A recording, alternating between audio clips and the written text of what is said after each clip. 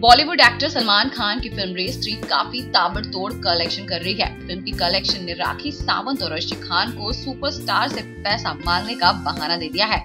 दोनों ने सलमान की इस बड़ी उपलब्धि पर उनसे पाँच करोड़ रुपए की डिमांड कर डाली है। जब एक रिपोर्टर ने रेस थ्री के 100 करोड़ क्लब में शामिल होने के बारे में अर्शी से पूछा तो उन्होंने कहा कि सलमान खान को फ़िल्म की कलेक्शन में से कम से कम पाँच करोड़ रुपए मुझे देने चाहिए।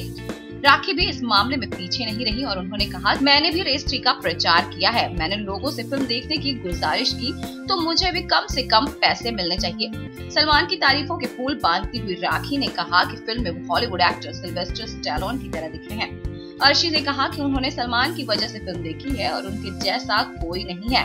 वेल अब इस पर सलमान का रिएक्शन कैसा होगा, ये सोचने वाली बात है। वही अगर फ़िल्म की बात करें तो फ़िल्म 200 करोड़ क्लब में शामिल हो गई है।